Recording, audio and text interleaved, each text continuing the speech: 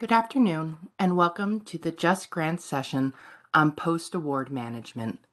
We are happy to have you here today and hope to provide you with the information you need to manage these processes in Just Grants. We are recording the session today and will make the recording available to you as as we can, as soon as we can.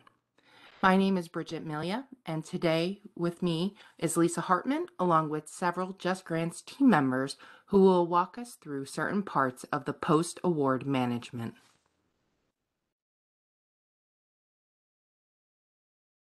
Before we start, we'd like to review the features in WebEx that will be important for you today. The meeting today includes a chat function for communicating directly with panelists we ask that you use the chat feature if you are experiencing technical difficulties access, accessing the session and need assistance. We also offer a multimedia viewer as well as a Q&A feature. The Q&A feature is designed for sessions like ours in which we anticipate there will be questions. Please use the Q&A feature for your questions about the session content because WebEx groups the answers with the questions so you don't have to search through a lengthy chat log to find your answers. We have disabled video for all participants so that we have more system resources available to present the content.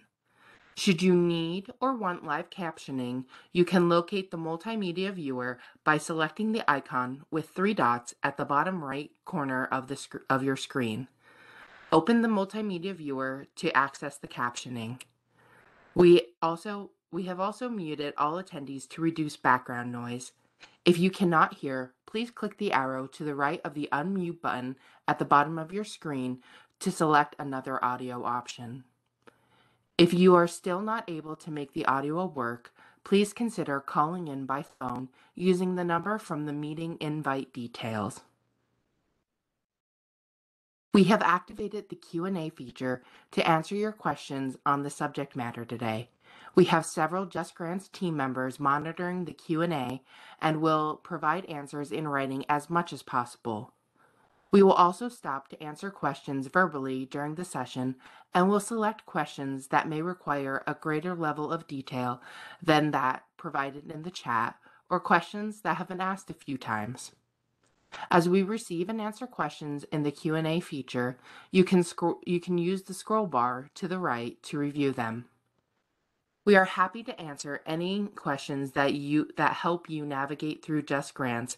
However, we do get many questions that are better directed to your grant manager. Questions about requirements of your specific program should be directed to your grant manager as they are the best equipped to answer them within the context of your award. Today we'll Today we will review the entity user roles that play a major role in relation to award management, grant award modifications, or GAMs, financial and performance reports, deliverables, and closeouts. We will discuss each topic, talk about a few troubleshooting tips, and break for questions after each topic. Lastly, we will share a few resources to help you and then go over any other questions you all may have. We are happy to answer any questions you have on how to perform steps using Just Grants. Due to a wide variety of programs and awards, we will not be able to address questions that are specific to your award requirements or questions about policy related to award management. Generally, these questions are best directed to your grant manager, as they are the individuals with the most information on specific award requirements. At the end of the session today, Based on your assigned Just Grants roles, you should be able to describe the entity user roles, initiate and submit a, a grant award modification, or GAM, submit a federal financial report and a performance report, close out an award, and locate Just Grant resources. The Just Grants resource website houses training material that you will need when using Just Grants. We have resources available for each of the topics we will address today on this site. We will review these again towards the end of the presentation. If you are an applicant or an award recipient for an OVW award and need assistance, contact the OVW support desk at ovw.justgrantssupport at usdoj.gov or call 866 655 4482. To contact the Just Grants Technical Support Desk, you can send an email to justgrants.support at usdoj.gov. You can also call 833 872 5175 Monday through Friday between 5 a.m. and 9 p.m. Eastern Time or between 9 a.m. and 5 p.m. Eastern Time on weekend or holidays. Please use the Just Grants support email or phone line anytime your Just Grant system is not working as, atten- as intended. It is important to understand the entity user roles. There are six roles, and each role has a, re- has a unique access to Just Grants. For a user to accomplish the work they need to do, they may need to be assigned more than one role. Let's take a look at the five roles that are important to the post award process. The entity administrator is a key role in Just Grants. This is the individual that manages all user access and maintains accurate information for the entity by coordinating updates in SAM.gov. The entity administrator role alone does not allow any edits to awards or applications in Just Grants, but this role is able to view all the information, awards, and applications in the system. The person assigned as the entity administrator will need to continuously support Just Grant users, and so should be someone that can, that can be available as needed to invite users, assign roles, assign or reassign awards and applications. The authorized representative is the only role that may allow may, that may accept or decline an award on behalf of the entity. This role must be assigned to someone in your organization with the legal authority to enter into a binding agreement with the Department of Justice and is legally authorized by your organization to agree to the award terms and conditions. The grant award administrator generally handles programmatic requirements, including submitting performance reports, initiating and submitting GAMs, and initiating award closeout. The Alternative Grant Award Administrator currently has very limited capabilities. They cannot submit any programmatic reports or GAMs, however, they can initiate a GAM and a performance report. The financial manager submits federal financial reports on behalf of the organization. Let's take a look at federal financial reports. I believe we So have, Bridget, uh, how do I locate and submit financial reports in Just Grants?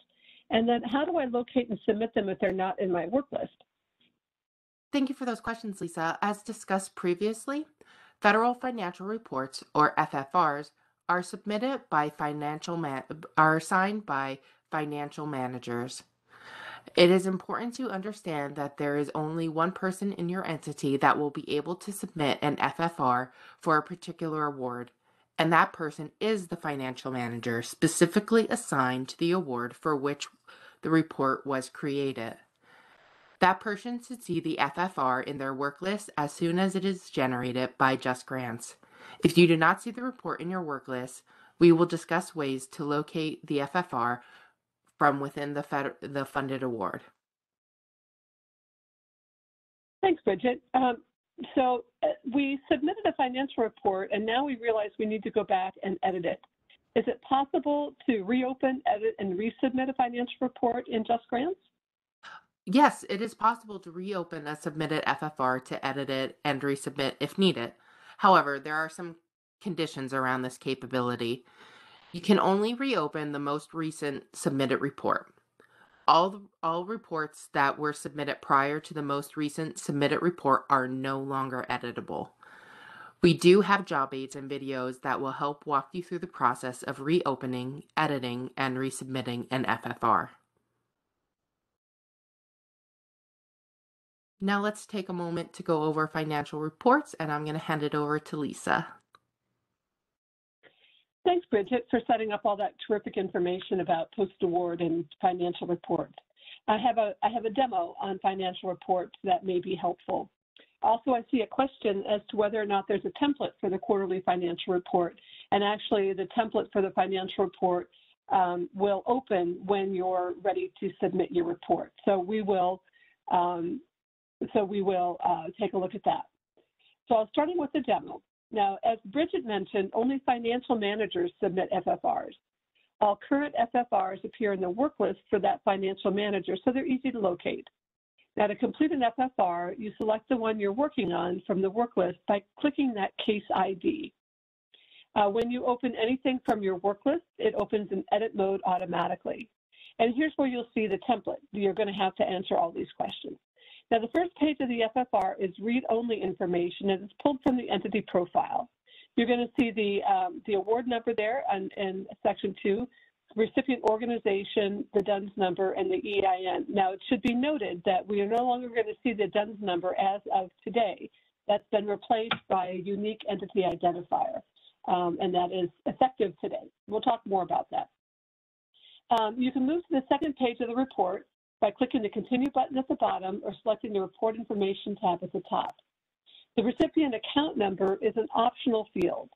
This is reserved for an identifying number assigned to the award by your organization. The report type will default to either quarterly or final, depending on the grant period it applies to.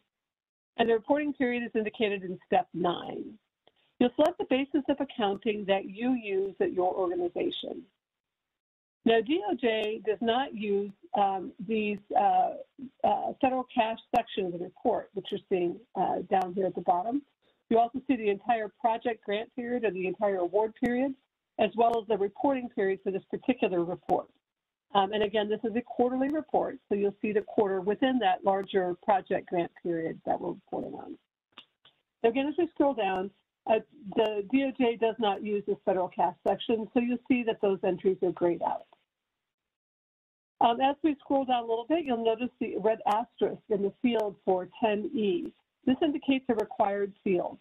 All entries in this report are cumulative, meaning you're going to enter all um, expenses or all figures from the beginning of the award to the end of this reporting period. Uh, that is a change from our previous system, so it's, it's definitely worth noting. Um, as you make entries in these fields and tab through, you'll notice that Just Grants performs automatic calculations based on your entries. So we'll take a look now. Um, as we're scrolling down through these entries, if you have a question about what should be entered there, um, often you'll find a, a, fairly detailed explanation of that field uh, directly below the field number. So that can help you determine what information should be entered in this field. Again, most new fields have red asterisks indicating that they're required. The ones that don't um, are not required. However, if there is an entry to make, you'll need to make it. So we're just going to go ahead and enter zeros for all of these um, because that is um, that's our situation for this financial report. And as we finish and we scroll down to the uh, bottom of this second page of the federal financial report, we'll find indirect expenses. Now to enter indirect expenses, you'll select the little plus add item button that you see there. And then you'll enter information in all fields for each of the indirect expense lines you're reporting. And again, notice that as we move forward, Just Grants is going to continue to do calculations for you. You'll see the calculations being performed um, once you um, enter information in the rate column and the base column. It will automatically um, calculate the amount charged. And any of these fields in white are going to require your entry. Now the calendar fields can be entered using that calendar icon, or you can just type the date in the field, whatever you like.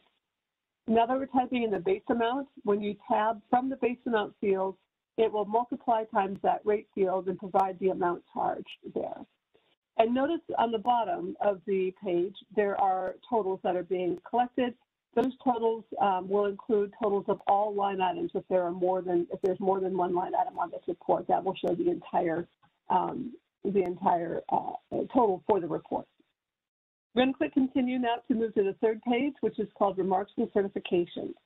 Now you want to use the additional information field to add any comments. Um, in this case, we're going to indicate that we made an adjustment to a previous report, um, and we're going to indicate that in this field. Again, this is just sort of test data. Um, you know, it's not the data is not as important as the process of entering the data uh, on these uh, demos.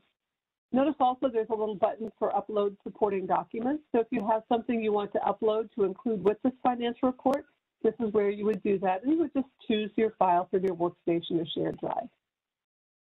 Now, the submit button is in the bottom right corner, but before you select submit, you may want to scroll down and just review the certification section. It's automatically going to populate the name um, and date uh, of the person and the day that this is being submitted.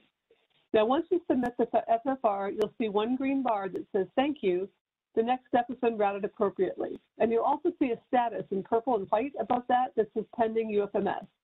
And then this pink banner is going to indicate the FFR is currently in pending UFMS status. So UFMS is the DOJ financial system.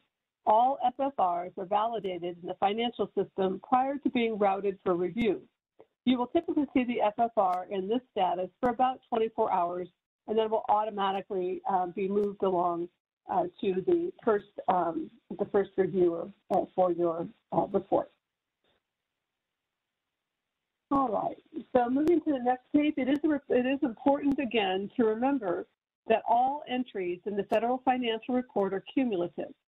Now, when entering data in field 10E, you're going to get a pop-up that appears confirming you've entered cumulative totals. So if you answer yes to this question, indicating that you did enter, enter a cumulative total, you're going to be directed to the next data field. If you have not entered a cumulative total and you answer no to this question, you're going to be directed back to field 10E to correct it. Um, so that's, uh, that's an important uh, point to remember that not only does it have to be cumulative, this particular field, 10E, does an extra validation to be sure that you're entering cumulative information. Now, if the amount that you enter in 10E is less than the previously reported amount, you will receive a message indicating that you need to be sure the amount is correct. If it is, you're going to be required to provide an explanation in that additional information, block 12, um, which is a text box, and uh, that will become then a, required field. Um, once you have um, submitted FFRs, you're going to be able to find a list of every FFR that has been generated for your award and the status that those in which those FFRs uh, exist. So when you open the entire funded award, there's a federal financial report section, which is highlighted here, and you can see all the report numbers um, to the left. You can see the type of FFR and you can see the reporting period. If you go to the right and you can see the status, um, you can see which ones have been um, which ones have been submitted, which ones are complete, which ones are open, and which ones may be delinquent. So delinquent would be um, a, a, report becomes delinquent uh, 31 days after the end of the reporting period, and that's just uh, standard across the board. So I do see um, a couple of questions about the financial reports. Well, actually, one is financial reports, the other one is GAMS, and we're going to talk about GAMS here in a moment. Uh, but again, the template for the quarterly financial report, again, as we saw, once you open the report, you have all of the fields displayed there. Now, if you'd like to take a look at the report before it's time for you to enter one and you don't have, one has not been generated for you yet, um, this is the form 425. That's a standard government form, and you can um, you can find it on the internet. But SF-425 is the number of that form. So I'm going to go ahead and look through now the registration questions that came up. And um, I'm going to see if I can answer the ones that have to do right now with federal financial reports. So one person has said, I'm unable to submit a first performance report um, during the last three days of the month. The financial manager has not yet registered with ASAP.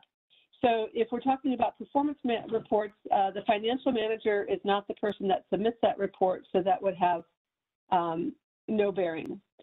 Um, on April 1st, we were able to submit the report. Was the issue likely related to ASAP's unavailability? So ASAP is the accounting system. That's where you draw down your funds. ASAP is connected to your federal financial report, but it is not connected to your performance report. Um, so ASAP would prevent you the last three days of every month, ASAP goes down to, um, to total up the month. And during the last three business days of every month, you're not going to be able to submit your FFR because ASAP is, um, is not available. Um, but you will the first day of every month. So if this person indicated performance report and actually meant financial report, then yes, it was ASAP. Um, that was the problem. And also, if the financial manager had not registered with ASAP, then they would not be able to submit the report as well. So there is a link between Just Grants and ASAP, and um, that link needs to be um, fully active. Um, somebody asked uh, how to draw down funds, and we draw down funds using ASAP. Um, but that is a separate that's a separate system. This is just grants training. We're going to train you how to manage your grants and awards. ASAP is a completely different system. It's actually run by the Department of Treasury. So the, the training that's provided is not provided by us. However, if you go to the ASAP website, they have training there that can help you determine how to draw down funds. Another one is for the final closing of grants. Where do you see the final ASAP drawdown in the process? Should it be before or after the final FFR is submitted? Um, and um, once the final FFR is submitted, that is your final total. Once you close your award, you can't go back and re and, and rework your FFRs or your ASAP drawdown process. So I think the best thing to, to do would be to speak to your grant manager about that. My guess is they will tell you to do the ASAP drawdown first and then the final FFR. But for questions that are specific like that, it may be different from one award to a net to the next. So you may um, find it would be useful to contact your grant manager just to discuss that question with them for your particular award. Um, let's see. Uh, ASAP did not send registration to the grantee. Um, the grantee is still not registered with ASAP. That's not a that's not a, I'm, I'm sorry, that's not an issue that we can help with. You will need to contact ASAP's um, uh, customer support. Uh, we don't have any um, access to ASAP in terms of um, troubleshooting issues. So they, like, again, they're a separate federal agency and a separate, you know, a separate application altogether. Um, but if you go on the ASAP website, you should be able to contact their customer support. Um, let's see. Let's see, I think we have a lot of GAM questions. Um, and so that's it. So we're going to go ahead, unless uh, anything has come up uh, recently, um, Bridget or um, Jeff in the chat that you can see. Chat or Q&A questions? We do have a few in the Q&A. Okay. Let's go ahead Um, and, and look. I believe you already answered this one, but I just want to make sure. Is there a template for a quarterly financial report? Yes, that template is uh, is available when you open the quar- quarterly report. You answer the same questions each time. Um, but uh, and if you want to see that before the quarterly report is generated, um, just uh, Google SF-425. It's a standard government report, and you should be able to um, access something there. Great. What happens if a financial reporter is out for a period related to injury or illness? So the, your entity administrator can reassign um, a new financial manager to your award, and that's a highly recommended practice. So um, if somebody's going to, you know, somebody goes um, uh, on unexpected leave like that, um, then another person will have to act as the financial manager for that um, particular award. So that person will need to be assigned the role uh, financial manager and then be specifically assigned to that award and then fill it out. But if they don't do that, then the um, the financial uh, then the financial report may become delinquent and it may impact your ability to draw down funds. Okay. Can you repeat financial?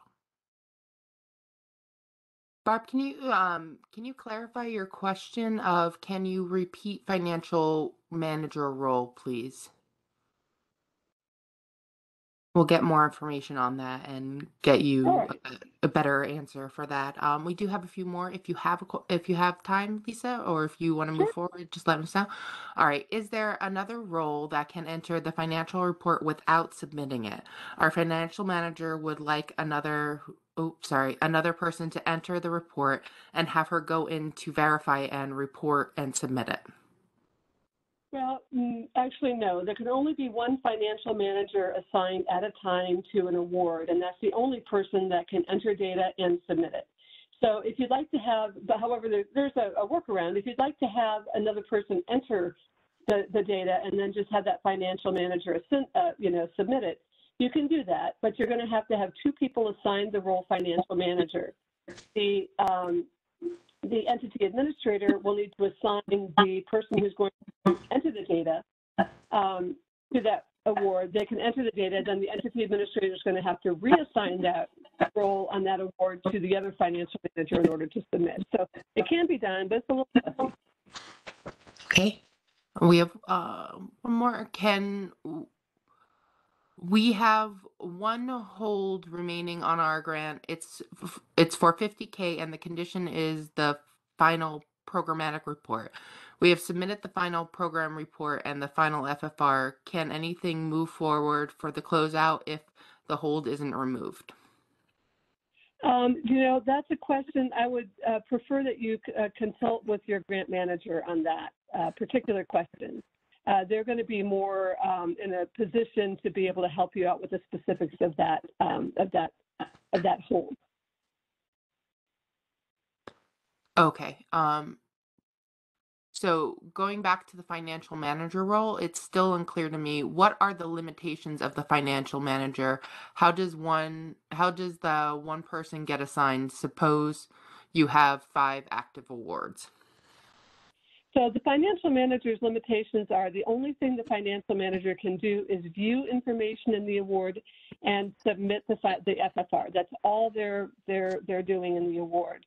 That person is assigned by your entity administrator. That's the one person in your organization that manages users and assigns them to awards. If you have five active awards, it's okay. As long as you have been assigned the role financial manager, the entity administrator can assign you all five awards. If you have different people being financial, the entity administrator makes those assignments per award. So um, we do have um, another virtual Q&A session on Tuesdays regarding um, financial, uh, regarding entity administration. So it might be uh, worthwhile having your entity administrator attend that session if they have questions. Um, so there you are. Um, Bridget, would you would you do me a favor and, and if you're not speaking, uh, if you could just mute because I think because I'm on speakerphone, I think we're getting feedback. It's not you, it's it's my speaker. All right. Thank you. So I do see the question, can we recommend that there be two financial managers so there's some flexibility for organizations? Currently, um, we don't have any uh, immediate plans to expand the ability for multiple financial managers. Uh, because you have the um, the capability within your organization to reassign um, to reassign the financial report from one person to another. Um, currently, that is the um, that is the process. Um, it has been mentioned before, um, but again, I, um, I, I don't know that we have any immediate plans to make that change. All right. Um, anything further, Bridget? Oh, just I think one more. Um, when when you choose the print option on the FFR, it is in format too well. Is there something we are doing wrong when we need to give the FFRs to our auditors and others? Um, no, there's not uh, something you're doing wrong. Uh, there, uh, there are um, some changes that are in the works for printing the FFR. Um, it is a, you know, it, printing is a very difficult um, consideration, um, you know, um, in, you know, in any computer system because of the the wide variety of printers and networks and things like that that that are you know that are are actually printing the uh, application. So we acknowledge that the, that you may find um, some print options, um, and uh, right now, if you are really struggling with it, you can contact our um, our user support uh, team and see if they can help you with that.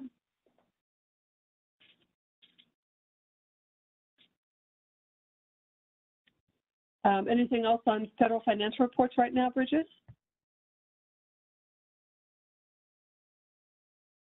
Not for federal financial reports.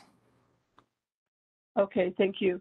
Um, uh, oh, I see a clarification. The organization can have more than one person assigned the role of financial manager, but only one of those people can be assigned to an award as the financial manager. And that, yes, that is correct, Rachel. Um, and I see that there's a question about starting to use the funds for the grant. That is uh, not the in, within the scope of this training. Um, if you have particular questions about your particular award or your particular funds and that kind of thing, you must contact your grant manager. Um, that's not a question we can answer in this particular venue. All right, let's move forward and um, we'll take a look now at performance reports and award deliverables. So um, award deliverables are a related topic, but we're really going to spend most of our time on performance reports. So we do get some questions about performance reporting. Yes, Lisa, how do I locate and submit performance reports in Just Grants? And then how do I report performance measure data? So these are two good questions, and we do um, answer these a lot. Now, performance reports are submitted by the assigned grant award administrator um, on your award. If you are the assigned grant award administrator, then the performance report is going to appear in your work list once it's automatically generated by Just Grants. Now, in a few minutes, we'll demonstrate how to locate a performance report in your work list, as well as how to locate a performance report if it doesn't appear in your work list for some reason. Now, there are two methods of submitting performance measure data. And to be clear, performance measure data and performance reports are not the same thing. Um, the performance measure data um, is a set of questions um, that align with your project, and you'll be expected to answer those questions on your ongoing progress within your within your uh, project um, on uh, the, whatever frequency your uh, award is is working. The requirements for the frequency and the requirements for your data are determined by the grant program that's offering you funding. Now, some grant programs usually submit performance measure data by attaching a PDF file from an external system. And one of the ones that we use a lot is Performance Measurement Tool, or PMT. Now, other grant programs have a question set that's actually built into the performance report in Just Grants. So the next question is going to be, well, how do I know which method I'm supposed to use? And in a moment, I'm going to do a demonstration of the performance measure process showing both methods of submitting your, your performance measure data. And we'll show you how you can tell which one you'll need to use uh, in your reporting.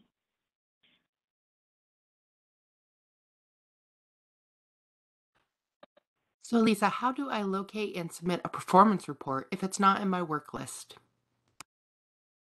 Well, that's a good question, and that happened uh, several months ago. We were having a problem with that, although I believe it's been uh, generally corrected. But if this um, if this problem uh, comes up again, and you're the assigned grant award administrator, and you can't see the performance report in your work list, you can always access the performance report by opening the funded award. And I'll show you later on how you can open the funded award as a grant award administrator, and you can um, submit performance reports or grant award modifications directly from within the funded award. So I'll show you how to do that here uh, shortly. Um, another option, um, you can either um, open the funded award and select just the performance report you want to submit, or you can open the funded award and, and um, select an option to sort of edit all there is uh, available to you within the funded award. So we'll take a look at that here in a moment. Now, as a reminder, performance reports must be submitted in sequential order. So if you have a couple of outstanding performance reports, you must submit the oldest one first before you can submit the most recent.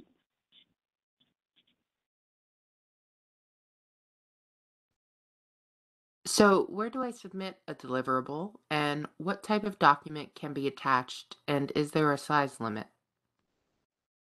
So all good questions. So deliverables are files that you'll upload to answer um, a request um, from uh, from DOJ um, that that uh, that you've been um, that you're expected to uh, to respond to.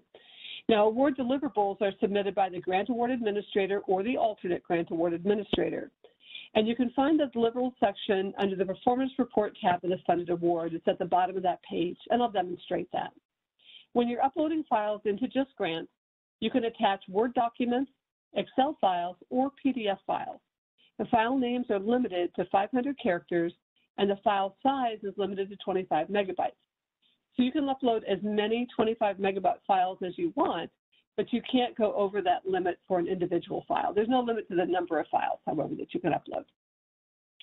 So let's take a moment um, to go through a demo on how to submit a performance report. And again, just to clarify, we're going to be talking about performance report, which is the actual report that's submitted to uh, DOJ. Within that report, you're going to include performance measured data. Now, in some cases, you're going to include that performance measured data as a file that you're going to upload from another system where you, you're tracking your, your data. Or so in some cases, you're going to include your performance measure data as a question set within the report, uh, the performance report itself. So again, performance reports are the submitting of the report to uh, DOJ and included within that report in one of two ways is your performance measure data. Now, performance reports appear in the work list for the grant award administrator assigned to the award. And the best way to begin is to select a case ID link for the report you're planning to submit. Um, and the case ID link you can see is on the left. Now, you might notice also that in the center of that, uh, that display, there's an urgency field. And you can tell um, whether you can tell how um, quickly these performance reports are due. Um, it's the, the colors can be handy. Um, a report with a green uh, circle by the urgency is uh, has plenty of time. Uh, by the yellow, it means that you're coming close to the time where you need to submit. And if that urgency has a red circle next to it, it means that it's past due and your report is delinquent. Now, performance reports, um, delinquent performance reports can um, cause um, cause your funds to be put on hold until your performance report has been submitted. So it's um, if you're looking at past due reports, um, it's in your best interest to um, begin to submit them you know, as you can. Now, once you open the performance report, you'll see at the top of the page um, information about the report, the solicitation, the project period, your DOJ grant manager, your grant award administrator from within your organization, all sorts of uh, information there. Below that, in the performance report section, you see the start and end date of this report, uh, reporting period, and then the due date, which is always 30 days after the end date of the reporting period. You can be uh, submitting either a regular or a final report, and the report is going to default to um, the type of report that's uh, based on, you know, whether or not the end date of the performance report is the same as the end date of the award. That's the only time that you'll have a final report. Final report is only generated on the very last um, reporting period of the award itself. Uh, we don't do final reports at the end of the year, only at the end of the award. If you try to change this to final and um, and uh, you're going to get a big message that says, "Are you sure?" Because um, if you change it to final in error, you'll have to get our support team to help you return it back to a regular report. Now, under your complete performance measure question set, you'll see that there is um, a menu option here. If there's a link there, that is the indicator that you must in, uh, submit your performance measure data in the report as a question set, and we'll see that demonstrated briefly.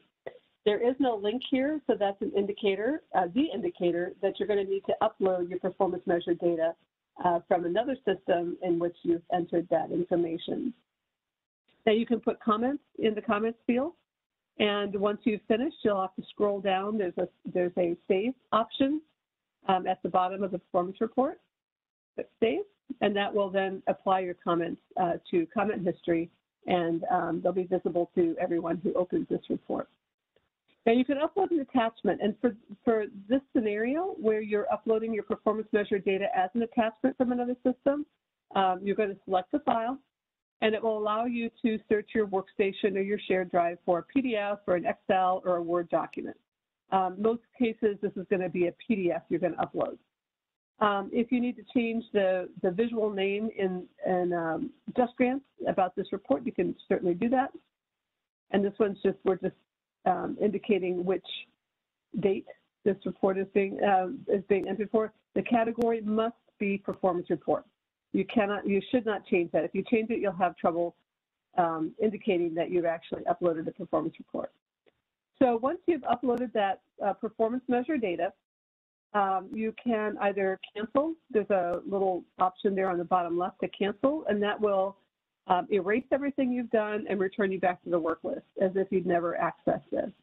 There's a save button that will save everything you've done, but not submit it just yet in case there's something you want to do uh, before uh, submitting. And then finally, that submit button will actually submit this performance report with the uploaded performance measure data to, the, uh, to um, uh, to your grant manager for review, and that will begin the review process.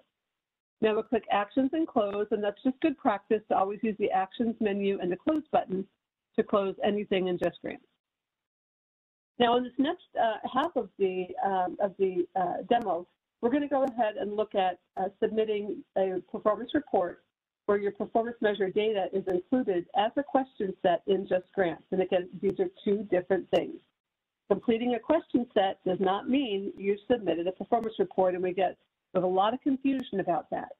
So we want to make sure that this is all very clear. Now, in this case, you still see the header here, you see the performance report, but now you see in the complete performance measure question set section, there is a link. And this link is how you're going to enter your performance measure data. The link is not to the performance report, it's to the uh, data entry uh, section of the report. So um, we'll go ahead and click that. Now this, uh, even if you're uploading a, um, a, a third-party file now, ultimately I think the idea is that most awards are going to move to this question set that's contained within the, um, the performance report. So when you open the question set, and at the top of the page, you see the name of the question set. It doesn't make a whole lot of sense. It, it has to do with the specific award um, that we're looking at, and this determines the questions that you're going to be asked and you're going to be expected to answer. Every award has its own set of questions, so please don't pay a lot of attention to these specific questions. This is just sort of generic data. Your award will have um, questions that are directed towards your project. Um, so when we first open this, we see all of the questions and um, no answers. If you want to print these questions to circulate within your organization, you can go up to the Actions menu. And when you get to the Actions menu, you'll find a print option, and you'll be able to, to uh, just print a list of those questions. And once you're ready to answer those questions, you see at the top of the page, there's this task assignment. You got to click that begin link in order to edit anything in JustGrants. So this is the um, question set. Again, not the performance report. This is where you're measuring your data and providing all of the data for your project to your grant manager for review.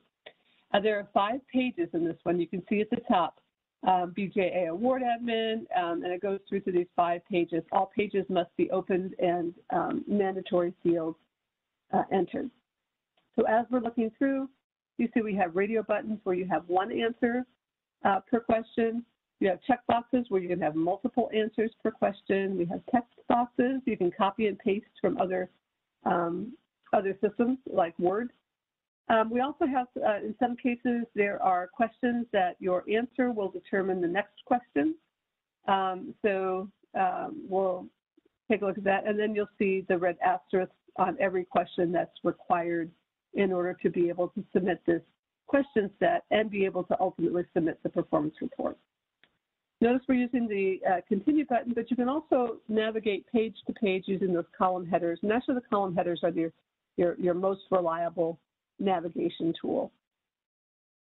Uh, so in this section, we have a number of drop downs and check boxes and things like that. So I think I'm going to move forward a little bit in the interest of time and just make sure that we have time to talk about everything we need to today. I'm going to move us to the last page. Now, I'd like to draw your attention on this last page to the fact that there's a blue button down here. This button says finish. It is not saying submit. Um, finish means that when you click this button, you've finished entering all of the answers to your performance measure data questions. Um, all that means is that you have provided answers to the questions you've been asked. It does not mean you've submitted a performance report. We're still not, this is a, this is a, a part of the performance report, but it is not the entire performance report. So what we're going to do is we're going to go ahead and let that finish button be clicked here in the demo. And once we do that, then you'll be able to see that we will um, return back to our question set um, summary page where you can see both the questions and the answers.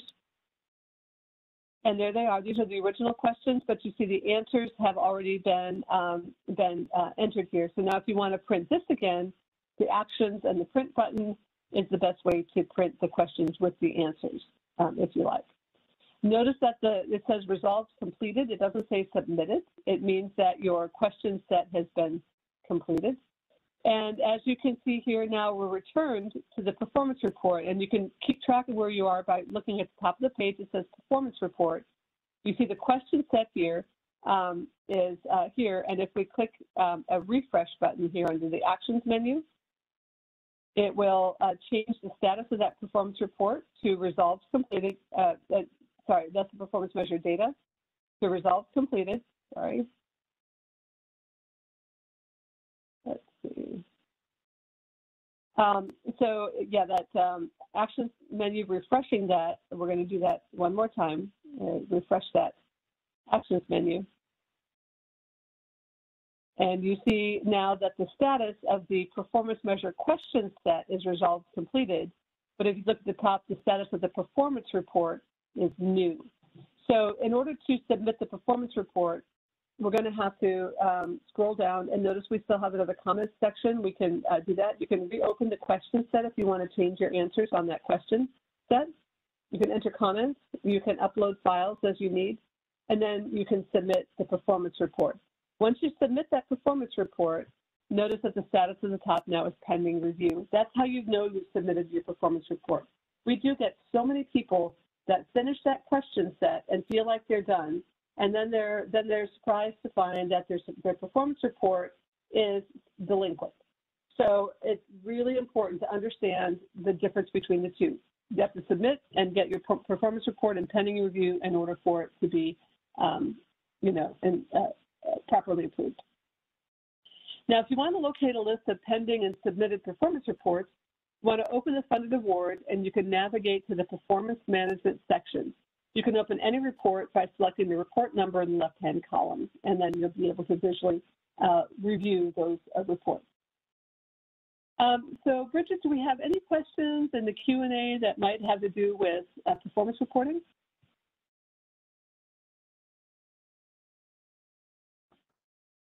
For performance reporting, yes.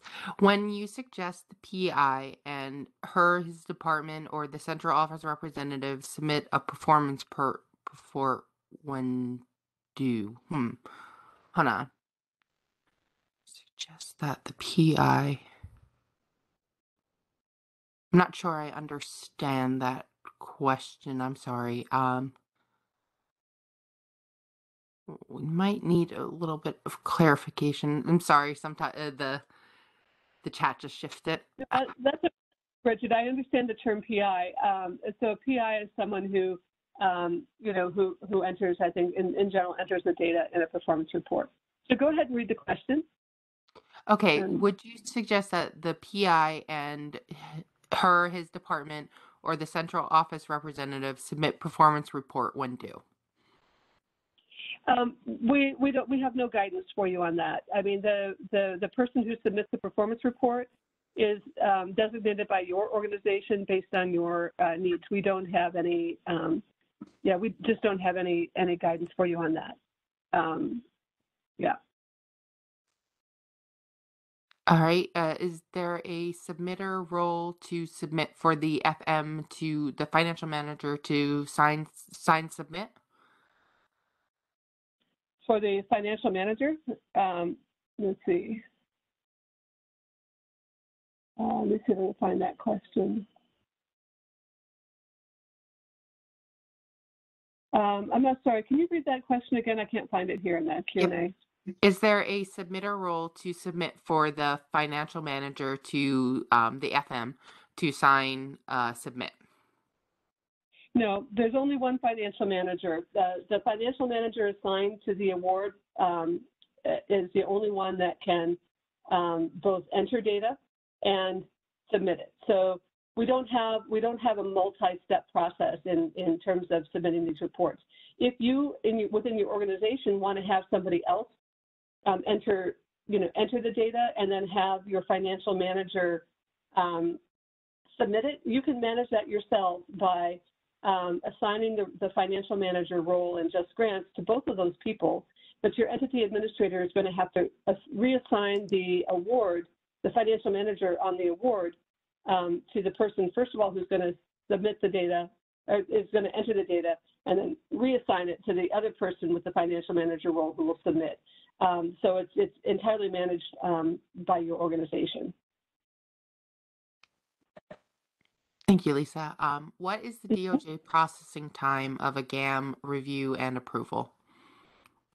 Um, that depends on the type of GAM and your program. So there's no there's no um, hard and fast rule on that. Um, but you're the when you submit a GAM, you submit it to your grant manager. So if you feel like it's it's a longish time before you're getting the, the approval, uh, you should contact your grant manager and ask when you can expect to to to have uh, an answer because your grant manager is the one that follows your GAM from beginning to end. Okay. Um, I'm not sure you can answer this one, Melissa, but if the if awards begin in October of 2021 and end in September of 2023, why are the reporting periods from October to June and then July to December? Um, the the reporting periods are determined by your program. That's not something I can answer. Your Mhm. grant manager may have a better answer for you, but um, but performance report performance reporting frequencies are determined by your funding agency. So um, so they're not all the same. Some some um, some awards uh, run on a biannual. Um, they run on a biannual uh, basis, starting in January to December. Some awards run on a biannual basis starting from the fiscal year, which in, in the government starts October through September.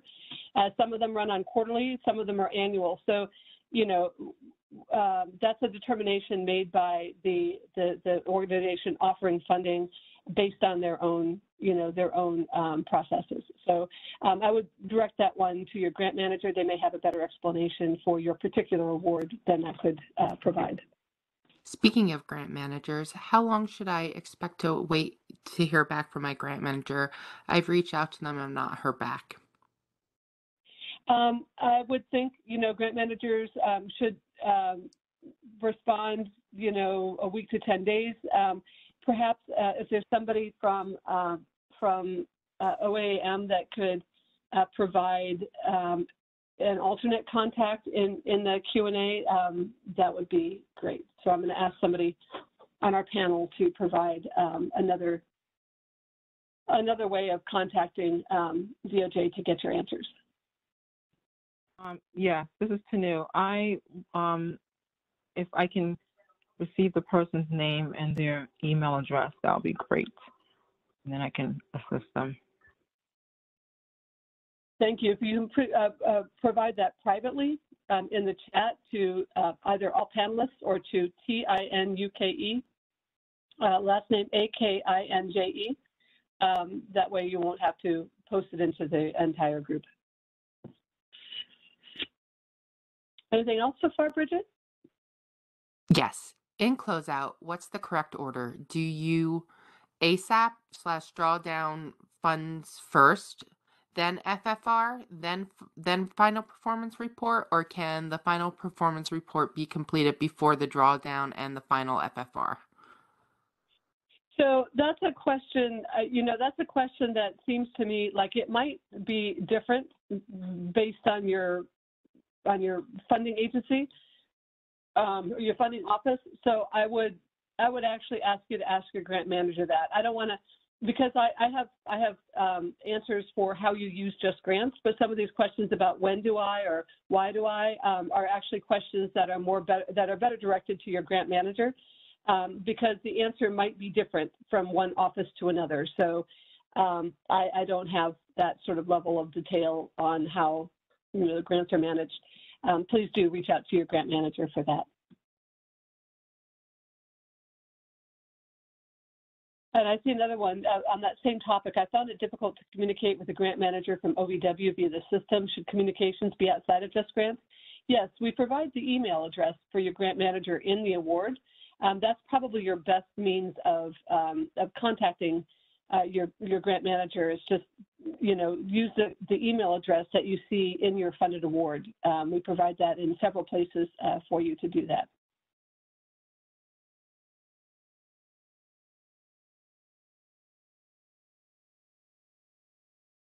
Thank you, Lisa. anything Can else? you, can you print a copy of the performance report after it is submitted? Yes, uh, you just use the actions menu and the print option. And we do still plan on discussing how to submit the, we've, uh, we already reviewed how to submit deliverables. Not yet, but uh, that's, Not yet. that's, uh, that'll be, Okay, yep, that'll be Um, coming up. Can more than one person be authorized to submit this data? No, again, you know, this is, um, we've mentioned this before, there can only be one, um, one, uh, actually in performance reporting, you can have an alternate grant award administrator that will be able to, um, enter but not submit. And then the grant, the grant award administrator will be able to submit. So in the, in the, in the world of the performance report, you can have two people, um, one alternate grant award administrator and um, the um, grant award administrator. So the alternate can initiate but cannot submit. Um, the grant award administrator can do both. I do have a few questions on uh, what if a file does not upload after you select from your documents? This happened to me the last time I attempted to upload a document. And moving along with that, um, we do have another question. Is there one-on-one support available to navigate Just Grants? I'm having difficulty uploading deliverables. So if you're having difficulty um, with something like that, um, I, the first thing I would do is direct you to our training materials because we have, you know, we have step-by-step instructions on how to um, upload deliverables within our training materials. And we'll talk about that, um, you know, when we get to our resources towards the end of this uh, session. Um, so that, uh, that would be my first recommendation. Um, the second one might be to contact your grant manager. And if you're having technical issues, your grant manager is the person to ask um, programmatic questions like, you know, why do I do this or what do you need me to upload? But if you're having difficulty, if you followed our step-by-step instructions and you still can't upload, then you can contact our support uh, group. So maybe we can hold some of these questions. Um, we do have about a half an hour left and I have quite a bit of material to uh, walk through. So I'd like to go ahead if we can and move forward so we make sure that we get uh, the information that you need. Um, but we'll also, we'll come back at the end and address any um, remaining questions that we have, uh, if we haven't hit them already. So let's talk a little bit about award deliverables. And um, we will, I'll just do a quick demonstration. Now, award deliverables are files that you upload into Just Grants, typically based on a request from your grant manager for specific, um, you know, information. Now, in this case, we're going to go to the awards menu here, um, and we're going to locate the award that we want to upload our files into. so once we select that, um, we're going to be here in this um, in this menu. And I want to talk about this just briefly because when you open um, an award from your um, work list, because the the the uh, the work is in your work list, the performance report, the federal financial report, uh, they're in your work list. It's because you are the person assigned to do that task, and only you. And when you open something from your work list, it's going to open automatically and be ready for you to edit. Now, when you open this, um, when you open a funded award from the awards menu, um, there are a number of different people that are involved in these awards and a number of different tasks. And so you're going to have to indicate that you're the person that is allowed to do this particular task. So when you when you open the funded award from that awards list, you'll always see this assignments page. and you'll see the actions that need to be taken now.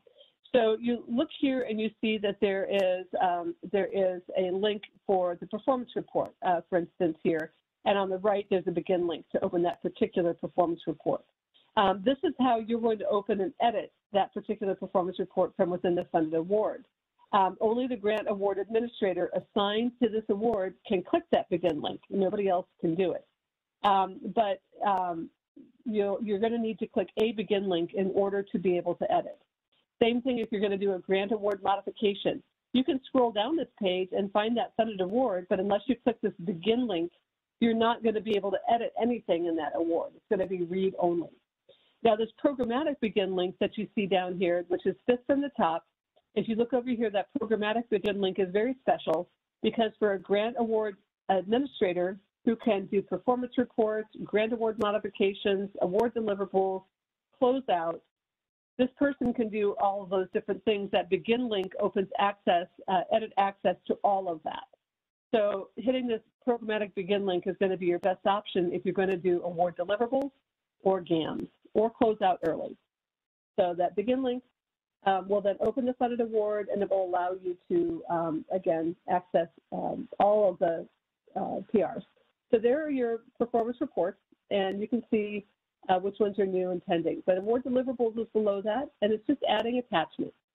So we're going to select the file from your workstation or shared drive to add this attachment. And in this case, we're going to go looking for something specific and we're going to attach something called a, a, supporting documentation. So once we do that, it's going to be important for you to select a file category. We have a lot of questions about file categories, and these are so important because the file category determines where in the funded award this file is going to be kept. So when you click attach, you'll see that the file category that we have here is the deliverable. Typically, the deliverables are going to be programmatic deliverables, requests from your grant manager to provide some piece of information that lines up with your objectives. We also have an opportunity here to upload a, um, an award, award condition compliance deliverable. And this is a special thing where you're uploading, um, you're uploading a document that's going to bring you into compliance with one of the conditions of the award. For instance, if one of the conditions says that within six months, the financial manager and the grant award administrator must complete this particular training course, then you're, if, if that six months goes by and you haven't uploaded the certificate that proves that you took that course, then that condition is going to be in a non-compliance and, it, and you may wind up um, having some of your funds uh, put on hold.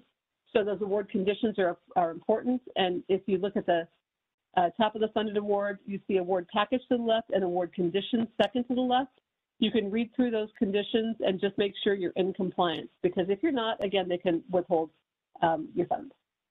So those are award conditions. Um, do we have anything that um, has been asked or answered regarding um, award conditions that we can take a look at?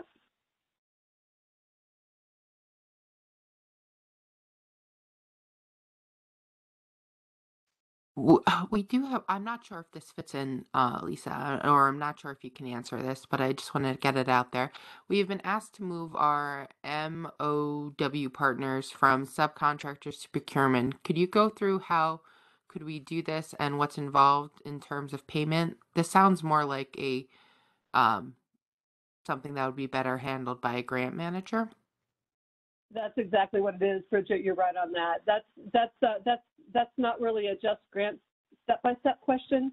That is um, really something that you need to ask your grant manager. You need to be in communication with the grant manager in order to understand the best way to approach your particular award. Um, I could answer that question for you, but another program office might do things entirely differently. So you just need to, you know, be in constant contact with your grant manager on questions like this. Yes, and um, can you show again how to find if there are any grant, if there are grant conditions? Um, I'll show you the grant conditions in the closeout piece at the end. I don't have that in my demo currently, Perfect. um, but I'll show you the board conditions um, in, when we do the demo for closeout. All right, anything else? Not on the subject. All right. And by the way, regarding grant conditions, there are always grant conditions. Um, so every, uh, virtually, uh, uh, as far as I know, every award has conditions that must be agreed to and, and followed through on. So there will always be grant conditions. Um, all right, let's move on to grant award modifications because I've, I've noticed a lot of questions um, about this. And we do have a couple of questions to start um, the topic. Yes, Lisa, what types of GAMs can be submitted in JustGrants and how can I initiate and submit a GAM in JustGrants? So these are these are really kind of very standard questions on GAMs. Now, grant award modifications are completed and submitted by the assigned grant award administrator on the award, and all GAMs must be approved by DOJ personnel. Now, an alternate grant award administrator can initiate but can't submit a GAM. So if you want an alternate grant award administrator enter the enter the information and then um, and then have a grant award administrator review it and submit it, you can do that as long as you have both of those people assigned to the award. Now, one of the questions we get from grantees, um, as Bridget brought up, is what types of GAMs can be submitted in JustGrants? And there are actually three categories of GAMs, programmatic, financial, and project period extension.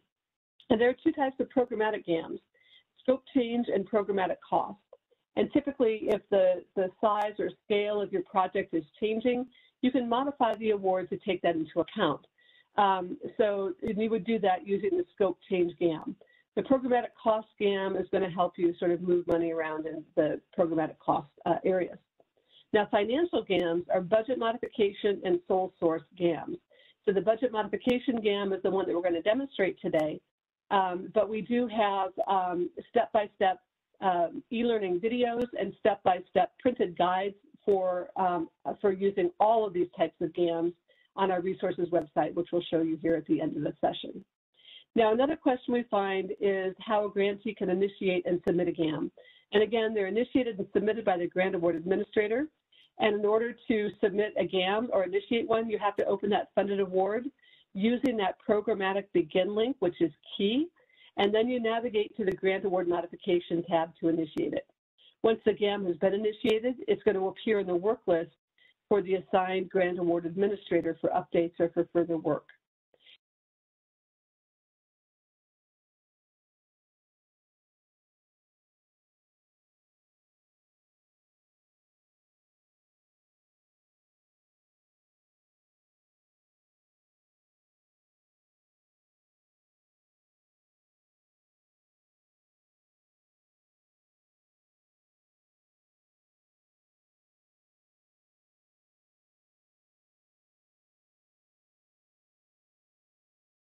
Okay, give Lisa one moment. She was logged, she'll be calling back in.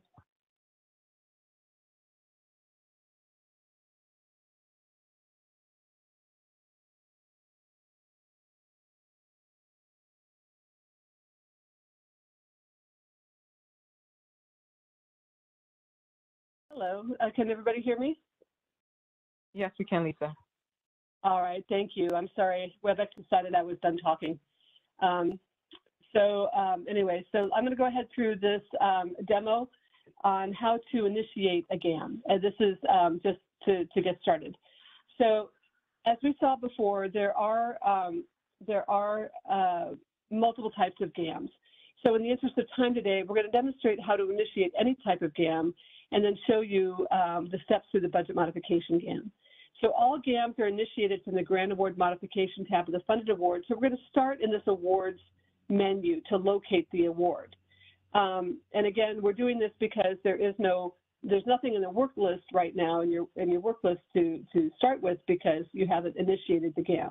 Now again, we're going to use this programmatic begin link, and this again is critical. If you don't click a begin link to open this funded award in edit mode, you're just going to be read only, and it's very frustrating because you're not going to be able to initiate anything. Now, once you open that programmatic begin link, you're going to navigate to the Grant Award Modification tab. And from here, you're going to select the type of award or type of award change you want to make. And again, it's a financial, project period extension, or programmatic. Now, to select programmatic, your options are programmatic cost or scope change. So you select the award type and the subtype, and once you do that, then you'll be able to select that Create New GAM button, which is going to allow you to, um, uh, to uh, complete a GAM. So now I'm going to go ahead and we're going to demonstrate just the one type of GAM today. Now, each of the GAM subtypes have different options for selection. And again, we have training materials related to each type of GAM, but we're going to look at the budget modification GAM today. And it's one of the financial types. Just select financial, and then the budget modification subtype. Once you get the, the type and the subtype, you see that that create new GAM button opens and is, uh, is going to be available for you to use. Before we do that, I just want to show you that we have in progress GAMs and completed GAMs, so you have a, a, a selection of all of the, the modifications that have been made to this award. So the budget modification GAM displays on the left the budget categories, um, second to left the approved budget that we're currently working with, and on the far right we have the editable fields which you're going to change to be the, the amount you want the categories to change to. So you want the, uh, so what we're going to do is move $5,000 from one category to another. And in this budget modification GAM, you can't add or remove funding from the total. You just got to work within the uh, the total federal amount that you have in order to um, make this work. It's got to balance. It's got to be the same amount uh, beginning and end. We're just moving money around. Um, you can um, you can locate the DOJ financial guides in here if you want additional guidance, and you must type a justification for why you're modifying your award. If you need to upload an indirect cost rate agreement, if that's relevant to this change, you can do that, or other financial GAM documentation, you can upload documents there as well. So you can um, provide additional, you know, justification or supporting documentation there. The grants management comments uh, field is where you can communicate with your grant manager. This should not be used as a conversation. This is just comments that you can add that will, um, you know, help to explain your, your process to the uh, grant manager. Um, now I'm going to go ahead and um, go back just a brief bit and show you that um, once you put um, comments in this comments field, you select add. That applies the comments and your grant manager and everybody who approves this or reviews and approves this GAM will see that. Bottom right, we have that cancel button, which will erase everything we've done and return you back without having made any changes. You can delete a GAM at this point before you submit it, and that will allow you then to register the fact that you started this GAM but then chose to delete it. You can save the GAM or you, um, you can submit it. And once you submit it, it is um, sent to your grant manager for review. Now, for organizations that have been awarded funding with a budget and conditional clearance, DOJ may request a budget clearance GAM so that the grant award administrator can edit that budget. The grant award administrator will find a change requested budget clearance GAM in their work list in this case. So if you've just uh, accepted an award and your budget is still in conditional clearance, you're going to want to be on the lookout for this change requested GAM. And you can see in the um, upper left image that uh, the bottom uh, GAM that's highlighted has a case status pending change request. That's what you're looking for. Now, when a grant award administrator locates a budget clearance GAM in their work list, you're going to need to open it to update the budget. You'll use the sort and filter features to find the, the modification and select the case ID link to open it. Once you open it in the upper right uh, image, you'll navigate to the Grants Management Comments section to see the changes that were requested. That, get, that Grants Management Comments section exists at the very bottom of this modification. So you're going to want to scroll all the way down to the bottom, read the changes that they're requesting you to make, and then we're going to go ahead and show you how to make those changes. So once you have an understanding of the, um, the changes that you're requested to make, you're going to navigate to the budget detail summary view that you see at the bottom right, and you're going to open a little caret in the triangle to the left of the category, um, and then you'll see the individual line items, and you'll be able to edit, to add, and delete. Now, once you open the line item that needs to be edited, you can edit any uh, field there in the line item itself. You can add a new line item by selecting the Add button, or you can delete a line item by selecting the little trash can icon to the right of the line. A narrative information in the additional narrative field is required for any budget category with a line item. Once you've finished and you've updated, um, you've updated all of the different lines that you've been requested to uh, modify, then you're going to click Submit, and then you'll, you'll uh, find that that project budget summary will display your updated totals. Um, so the, um, the project, the budget summary view is what you're actually currently going to be working with. Um, once you do that, you'll want to, you'll need to actually navigate to the total project cost section, which you see in the uh, right-hand image, and you're going to need to um, verify that the federal funds, um, the match amount, um, the federal funds plus the match amount plus the program income amount equal the total project cost. That is, and you see the total project cost is directly above that green um, box. So those three fields, if you have all three, are going to need to equal that total project cost. If there's a discrepancy between those two totals, you will not be able to submit the GAM. It must, it must equal. Um, once you do that, you're going to navigate um, to the budget financial documentation section. If you need to upload an attachment or select a document from Just Grants um, that you've captured to, um, to uh, include in your GAM. Um, if you select the um, entity doc, that is going to be a list of documents that are captured in JustGrants that apply to all awards uh, or applications in your organization, such as like a, an indirect cost rate agreement or a 501c um, documentation, that sort of thing. You'll check the, um, the attachments you want to include and, and select submit. If you are uploading something using the upload doc button, that allows you to locate, um, you know, additional files on your workstation or shared drive. Again, if you need to upload something um, that's outside of JustGrants, this is how you do it. You select the file. Um, and again, it's very important everywhere in JustGrants, everywhere, to um, make sure that you select the proper attachment category. It's the category that determines where JustGrants is going to file this document. So if you're uploading an indirect cost rate agreement related to the budget, then you want to look for the budget indirect cost rate agreement category because that's where you want that to be filed within JustGrants. So once you've selected a category, you can click attach and then it becomes part of that modification. Um, and uh, once you do that, then you'll click the submit button for the GAM and you'll submit it back to DOJ. Um, and you'll see here that that GAM will remain here in your work list, um, you know, in, in the status until it's approved. And once it's approved, you'll see it in the funded award under the um, completed GAMS section. Now, if you uploaded your, um, your budget uh, during the application process as, a, um, as an Excel spreadsheet, which is not very common, um, you'll do a similar process where you will um, where you um, uh, will locate the GAM, and then you'll find the comments um, in the uh, in the GAM itself. And in the next case, you'll use that um, upload doc process to find your budget, and uh, you'll uh, make your changes in the Excel spreadsheet or whatever it is that you uploaded, and upload it and submit again. Um, so let's take a, look now. Uh, Bridget, can we at uh, GAMS and see what questions we might have on this topic? I submitted a GAM, a financial GAM. It is pending but has been returned for a change request. How do I find the communication my program manager has asked to be changed? Um, that is um, that, that, was part of uh, probably that was submitted prior to um, this demonstration. But when you open the GAM, you scroll all the way down to the bottom and you see this grants management comments section that is where you'll find um, the requested information.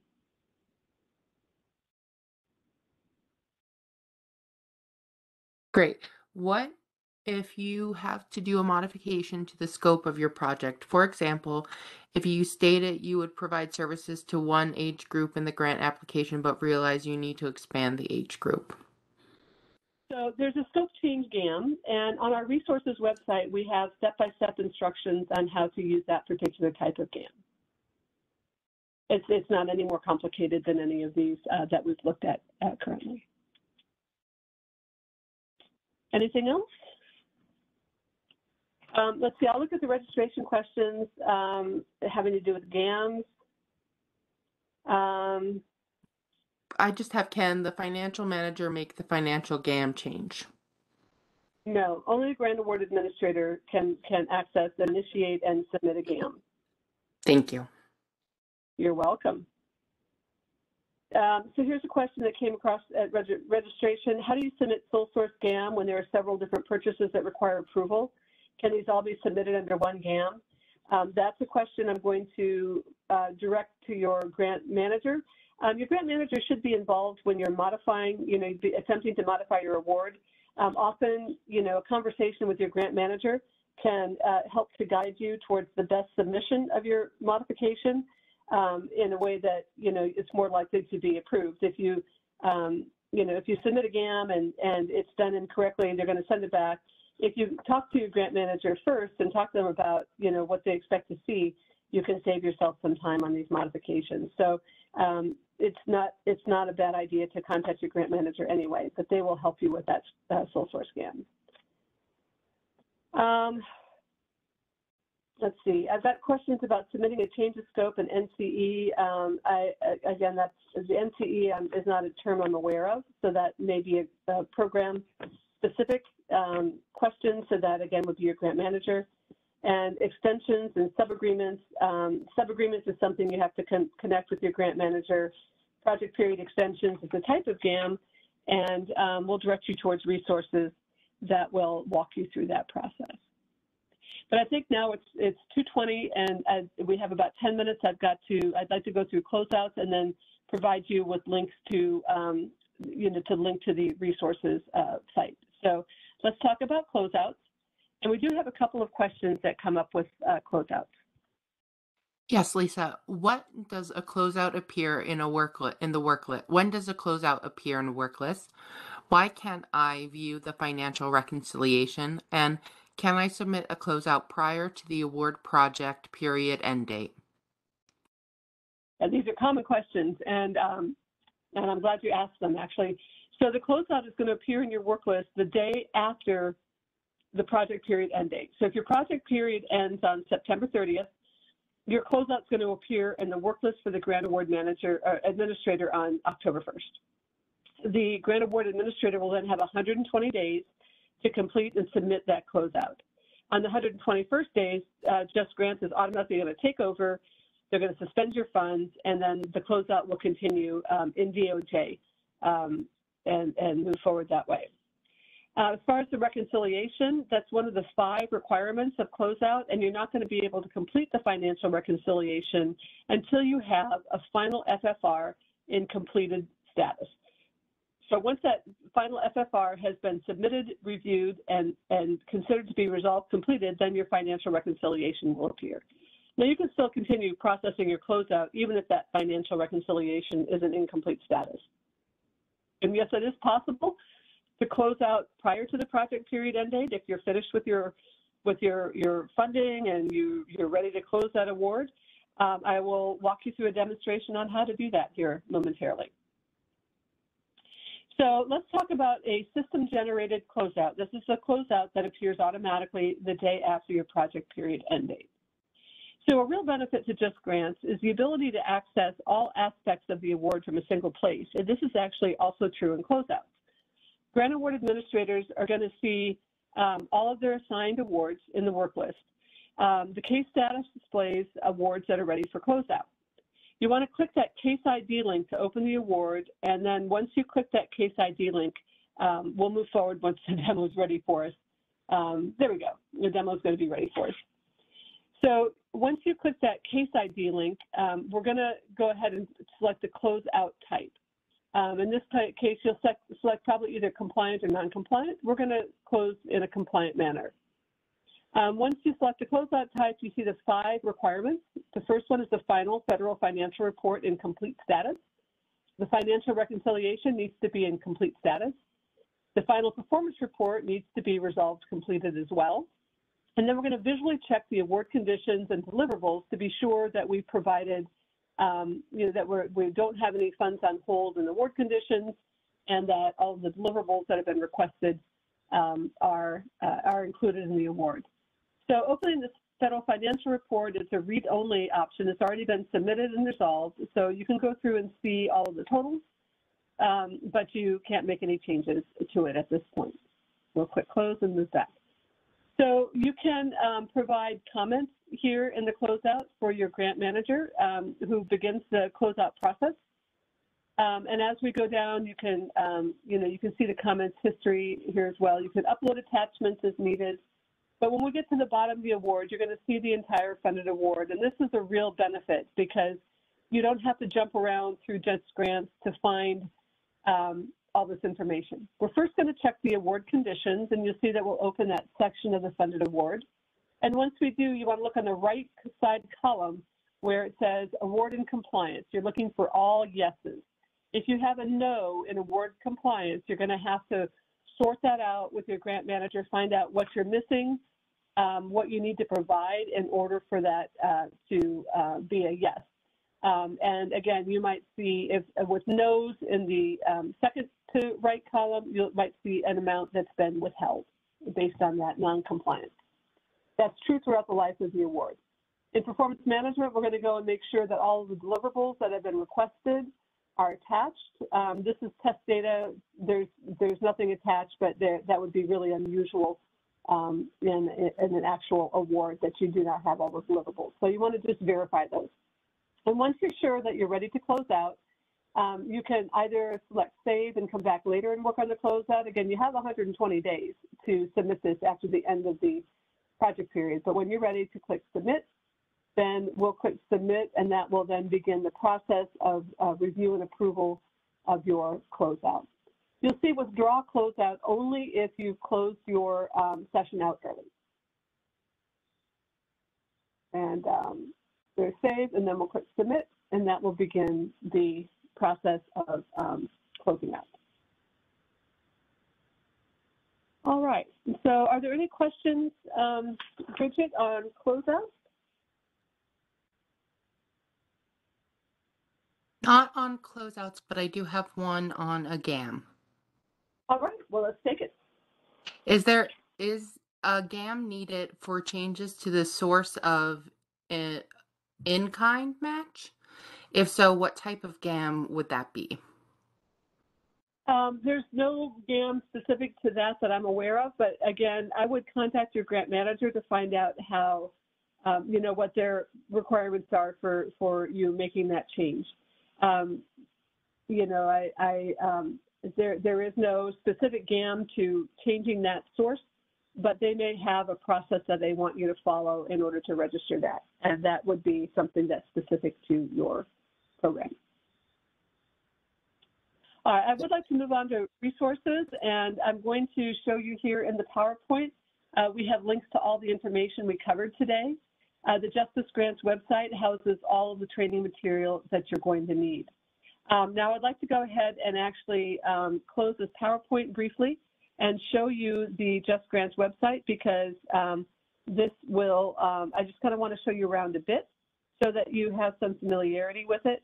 And then we will um, uh, take the last, the last questions that, uh, that might have come up.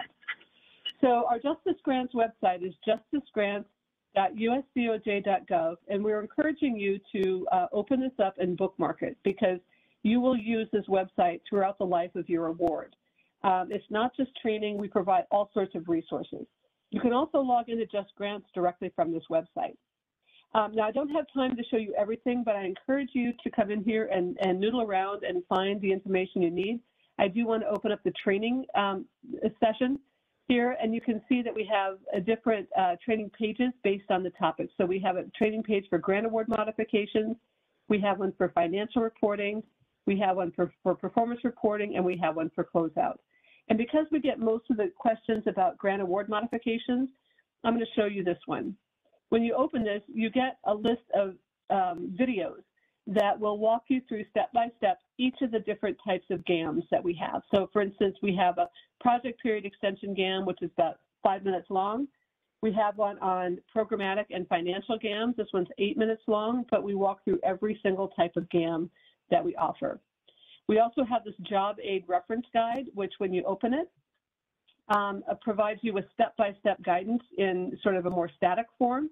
Um, and you can use this to um, you know, to um, walk step by step through each of the GAMs. So for instance, uh, the programmatic GAM here on page 31, if we um, scroll down to page 31, where are we, 33? Um, then, we, then, then you can see we provide overview information on program, programmatic GAMs in general. And as we scroll down, Um, we talk about scope change GAMs specifically. And then we um, look at programmatic cost GAMs. And now here's where you start the step-by-step um, guidance on each of the individual GAM types. So we provide the steps, and then we show you in the screenshot where those steps happen. Um, and we just walk you through, again, step-by-step how to create these GAMs, um, and then how to, um, how to complete each one of those. So these uh, job aid reference guides are a really good source of information. For those of you that were interested in this budget clearance change request GAM process that we walk through uh, screen by screen, all of those steps are here in this um, budget clearance change request uh, document, and this is just step by step through that particular type of GAM. Um, so we wanted to draw your attention to that. Also, um, at the top, uh, we have resources. Those of you who had questions about ASAP, um, you can find information about ASAP here. We provide um, you know, we provide information about ASAP, checklists, we provide user guides, uh, FAQs, and then we provide you with information to the ASAP site. Um, uh, and then uh, we have a user support link here and our library of videos and FAQs. And then finally, our news and updates section where you can sign up for email updates, which we also highly recommend. So that was kind of a fast um, walk through that particular uh, website. Um, and I'm going to go ahead and um, share my PowerPoint again. Um, so um, I, would like to also remind you that we do have um, upcoming virtual Q&A sessions on Mondays from 1 to 2.30. We always hold this session for post-award management. Tomorrow and every Tuesday, we offer entity management for entity administrators and user, you know, user role assignments. Wednesdays, for those of you who happen to be applying, we have a 2.30 to 4 o'clock application mechanics session where we walk through all the steps to applying for funding. And then Thursdays from 2 to 3, we have the award acceptance um, course for those of you who are um, in the process of accepting awards. Um, you are welcome to register for as many of these as you like, and uh, we look forward to seeing you in future sessions. Um, so Bridget, one last call for questions before we sign off. We do have two. Um, could you show us again where to click the uh, to access or to click to access the GAM trainings? And you are going to show us to find um, where to find grant award grant conditions. Uh, I, I, thought we, we did kind of go through the grant conditions in the closeout section, but I am happy to um, go back to that. So the um, in the closeout process here, and let's see, this was the demo. So the grant award conditions are found, let's see if I can find it here. So the grant award conditions are found um, on the funded award. You see this award package uh, status here on the left and the award conditions. We're going to click that and it's going to open up all of the conditions that were agreed upon when your uh, organization accepted this award. Um, each of these things on the left says uh, is something that you're required to comply with. And you can see here um, if there is anything in a no in the right-hand column, that means that you're not in compliance with that condition. And if there's if there are funds withheld, the second to the right-hand column will show you how much money is being withheld from you for not complying with the condition. Typically, um, if you read through the condition, you'll have an idea of what's required. But again, that's always something that you can talk to your grant manager about and say, I see I'm not in compliance with award condition number 32 um, what do I need to provide for you in order to become compliant?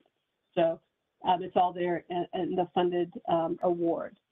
And um, let's see, where to click to access the GAM trainings, I can sure do that. Let me go back and share the Google.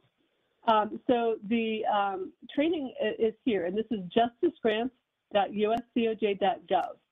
And we're going to click the training option here and you see uh, grant award modifications here. So um, you just need to go to the website and um, select the training link and whatever topic you're interested in, and you'll find here, again, the e-learning videos, the job aid reference guide, and then um, you'll find here the budget clearance change request as well. All right, any other questions um, at this point? Uh, I do see one that was missed, uh, so I'm not sure of the context around it. but okay. it was, is there a way for the portal to send a notification of when a report is upcoming? Um, the portal doesn't send notifications um, uh, for upcoming reports. Um, the, the federal financial reports are quarterly. Um, and uh, so you just, you know, the, the, the idea is that you should um, just, you know, be aware that you're going to get notification quarterly. Um, as far as performance reporting, I believe you do get a notification, an email notification when performance reports are coming up. Um, but you will certainly get a um, you'll certainly get a notification if your performance reports are overdue, and that will come to the email address that you use as your username uh, logging into JustGrants. Now, if you're not getting those, if you're not getting those notifications, you might consider um, you might consider looking at your spam or junk folders because you know, emails that are automatically generated by a computer system like JustGrants often you know uh, organizations will send those straight to spam or junk. So always check the spam and junk folders for any notifications from uh, JustGrants if you feel like you should be having one, but you, you haven't seen it. All right, well, it's 2.35. Uh, if there are any questions, I'm happy to continue answering. I know people have only budgeted uh, 90 minutes for this class. Um, you're welcome to stay um, if there are additional questions. If not, um, Bridget, what do you see in the Q&A and chat? I see we're all answered up. All right, then I'd like to thank you all for coming today to the session. Um, we hope it's been useful. Uh, we would like you to complete a short survey. It's going to open a new browser window as soon as you exit out of WebEx. It's five uh, multiple choice questions and one optional text um, answer, and it really helps to guide us towards bettering um, the the um, the training that we're able to provide once we know more about what you um, what you appreciate and what you don't. So please uh, take some time for that if you would. Thank you for, for your participation, and we hope you have a great remainder of your day. Thank you.